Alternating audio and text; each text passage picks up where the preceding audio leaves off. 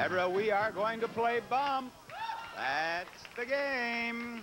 Now let's check the prices. 1922 is not the price of that screen. 1376 is not the price of that refrigerator. If you have the lovely Dian bump the cars this way, you put 1060 on the screen and 1922 on the refrigerator. If you have the lovely Janice bump the cars this way, you put 1376 on the screen and 1060 on the refrigerator.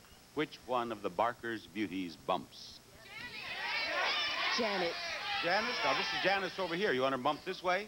Because you looked at Dian and said Janet. Okay, I want Janet to bump this way. Janice, you bump them this way. There you go. All right, here's the wind up. And, uh, bump.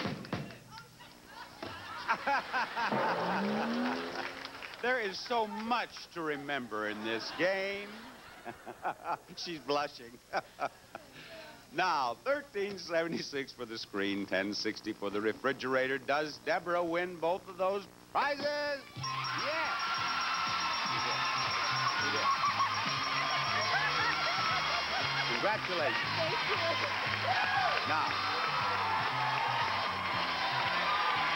I, think I need Kathy's help. no, I, I think I need Kathy's help. Kathy did bump up. No, I, before we leave, I just want to go over this again once Yeah. more. Now, now, you see, when you hit your hip into here, Janice, that doesn't really move the cars. You see, you have to push them with your hand.